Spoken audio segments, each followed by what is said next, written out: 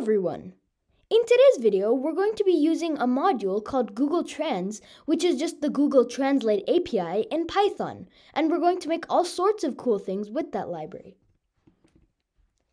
So in today's video, first of all, we're just going to explore what the Google Trans library is and all of its features.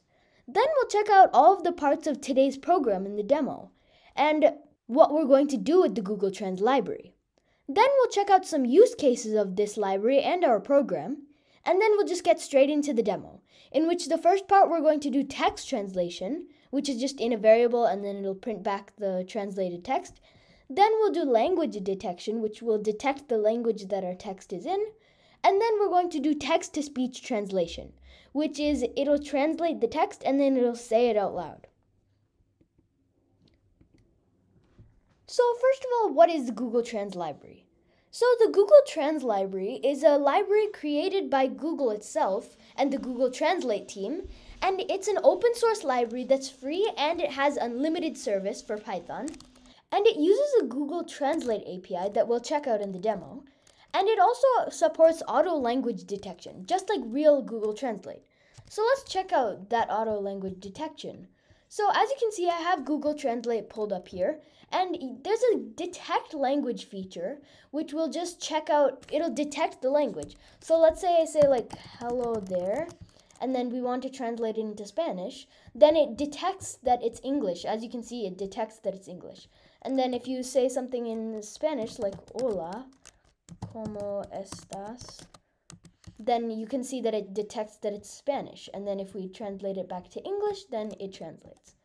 So just like that, we're going to be using that kind of feature in our Python program also. So that's the auto language detection. And it also supports 106 different languages. And let's actually check out the languages also. So as you can see, it has from Afrikaans all the way till, let's see, what's the last one? Zulu. So as you can see, it supports so many different languages. So there's a wide variety of languages that you can use. So that's all about the Google Trans library. And by the way, the Google Trans library has all of the same features that Google Translate has, and they're adding even more. So now let's check out today's program. So part one of text translation with Python in today's demo is we're going to take variable text, and you can add any text you want, and then it's going to translate that and then print it back to us. So that's pretty simple, but part two, we're going to take our same translate variable text and then we're going to do language detection on that. So let's say we have some text just like we did just now. It's going to detect the language and then print the lang- like what language it is in. And then part 3 is again text translation, but then it'll say out loud the translated text into whatever language we're translating it to. So now let's check out the use cases.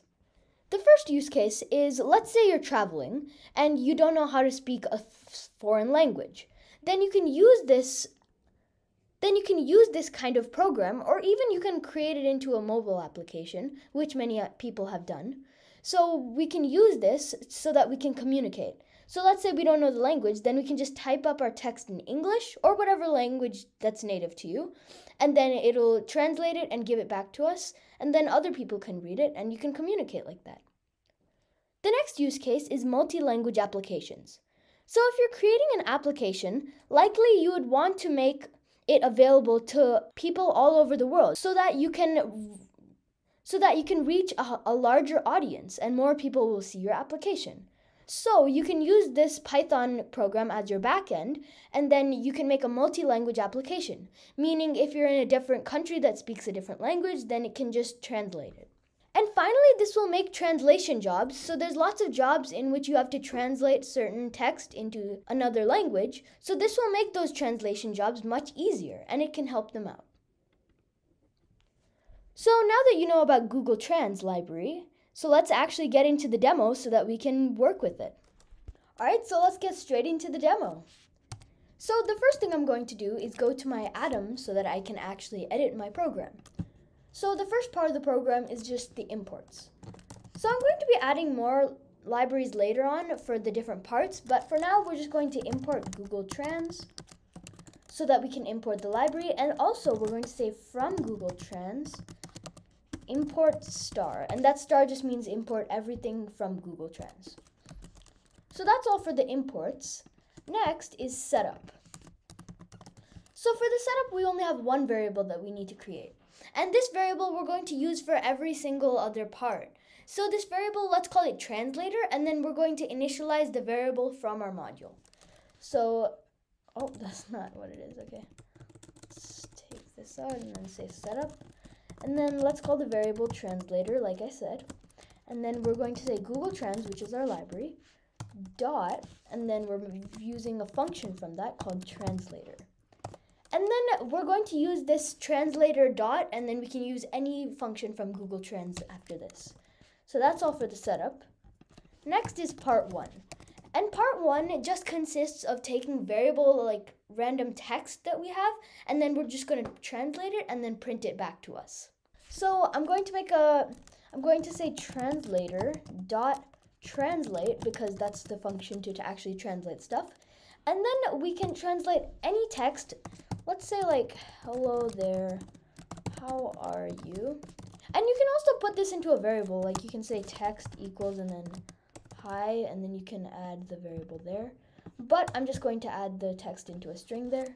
So hello there, how are you? And then the last parameter is just the destination. And that's just the destination language that we want to translate into. So right now we're translating from English, and then we have to say dest equals, and then whatever language you want. And then we can refer back to all of our languages in Google Translate supports. And then as you can see, it has a code. Each language has a code. So let's say I were to do like Korean, then the code would be KO. But you can also just write Korean as a string.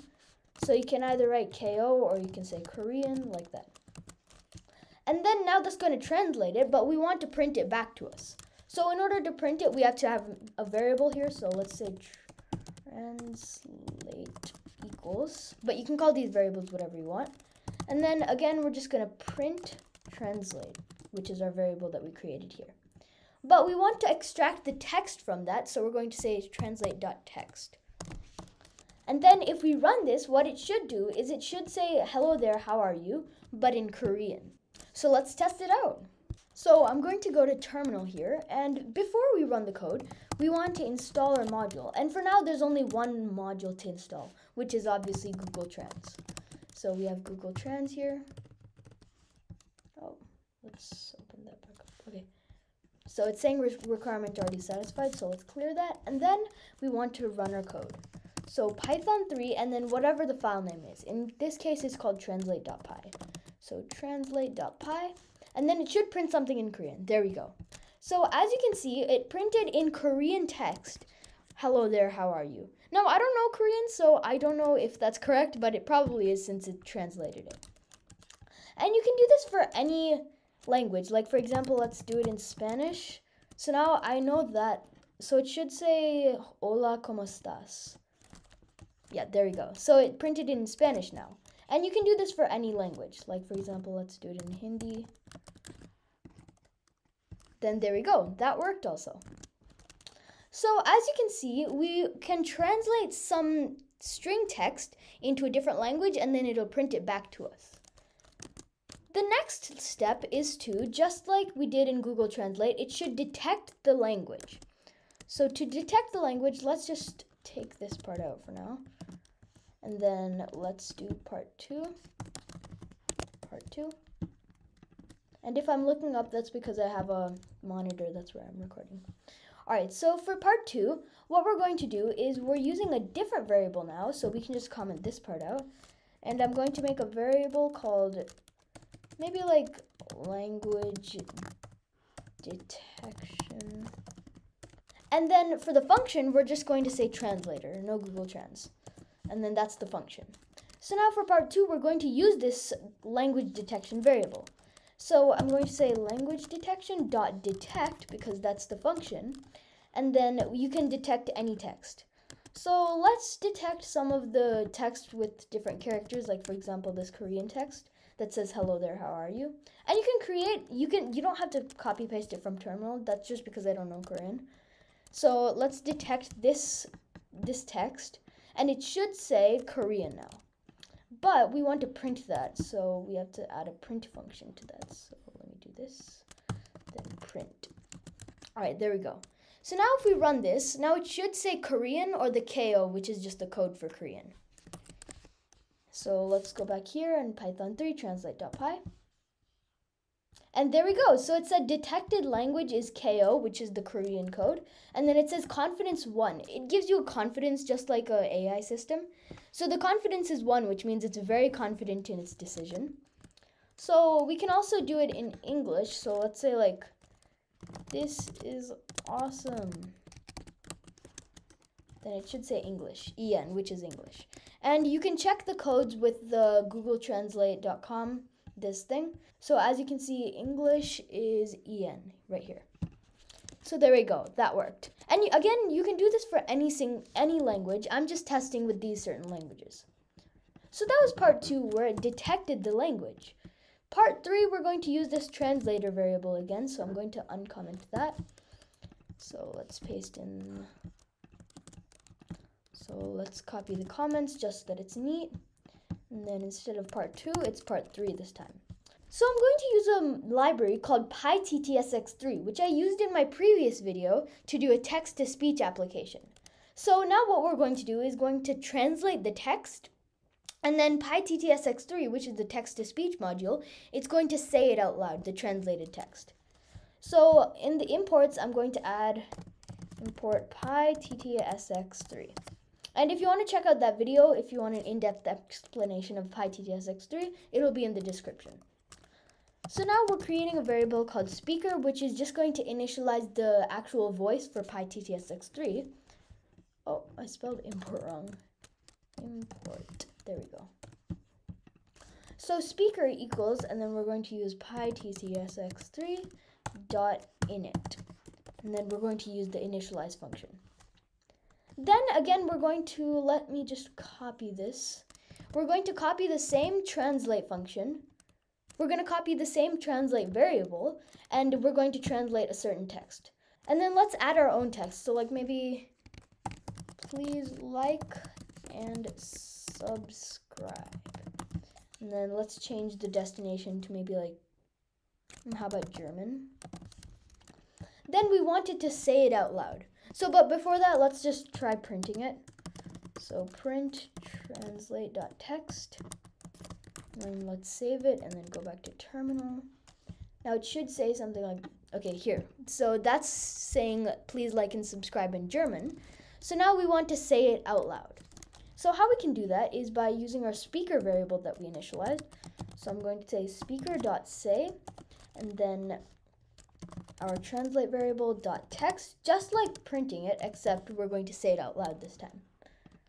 And then after that, we want to run that. So we're saying speaker dot run and wait. And then that's a function, so we need parentheses. And then, yeah, now what it's going to do, now what it's going to do is we initialized our speaker variable, then we're translating it and then printing it in German, just like before. But now we're saying it out loud. So we're going to say whatever please like and subscribe is in German out loud using our PyTTSX3 library. And then we're going to run that. All right, so I'm going to go to terminal so that we can run our code. Let's clear that. And then let's do python 3 translate.py. So what it should do now is it should say something out loud in German. I don't know German, but it should say something. Oh, name speaker. Oh, I think I misspelled something. Let's see this. Speaker. Oh, yeah, I spelled that wrong. Okay. Save that and then run it again. Bild liken und abonnieren. There we go. So it said that in German and then obviously it printed it out also. So that worked. And we can do it in Spanish also. Spanish. Por favor, me gusta y subscribed. See, there we go. That worked.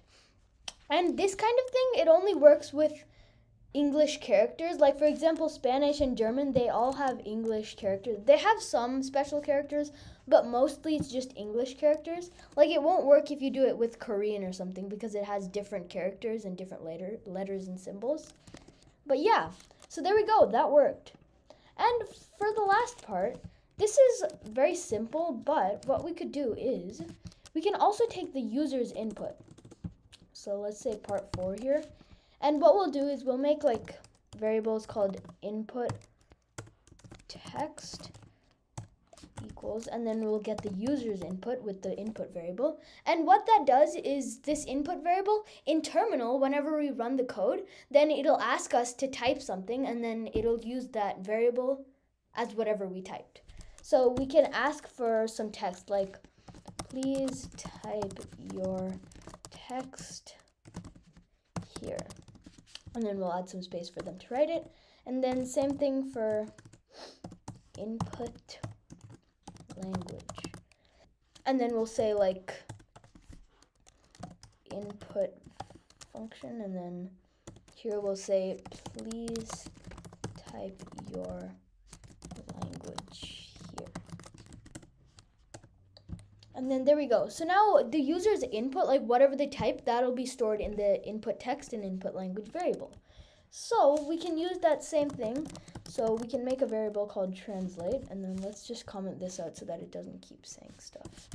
Okay, so we can make a variable called translate, and then we'll say translator dot translate. And then as the parameters, we'll add our input text and input language variables. So for the text, we'll say input text, and then for the language, we'll say dest equals, and then input language. And then that'll work for whatever language and whatever text you add. And then obviously we want to print that, so we'll say print translate dot text and then save it and then we can run it. So now what it should do is it should ask us for the user's input on what language we want and what text we want and then it'll translate from English to whatever language we type. So let's just run that. And it says please type your text here. So maybe like this is a great day. And then please type your language. Let's do it in. How about we do it in Hindi? Then it should transalt. Oh, I think I spelled something wrong. Okay, my bad. Translate. Alright, there we go. And let's clear that and then run it again. So please type your text. This is a great day. And then we'll do it in Hindi. Now there we go. It works here. And it's saying speaker is not defined. Oh, okay, sorry. At the bottom I added something here. Okay, let's just take that out and then run it again. But as you can see, it did work. And then we can change the language also and the text. So let's just test that out. So please type your text here, maybe like my name is Rishab. And then the language we can do, about we do it in French? Now there we go. It says something in French. It says my name is Rishab in French. And there we go. That worked. So we've successfully created a translation app in Python. So first of all, we just took variable text and then we translated that into a certain language. And then we detected what language a certain text was. And then we detected what language some text was. And then we said it out loud using the PyTTSX3 library. And finally, we took the user input and then we just translated it like that. And the opportunities are endless with this library because it uses Google Translate's API. So it has all of the functions and all of the things that Google Translate can do. So in this video, we just did the basics of the Google Trans library, just showing you the main functions and features of the Google Trans library using the Google Translate API. But the possibilities are endless with this kind of application. You can even create mobile apps that do translation like this. Thanks very much for watching. If y'all had any doubts, please comment down below. I would love to help you out if you're stuck with any Google Translate questions or issues. Please like, subscribe, all that jazz. Until then, you can learn anything.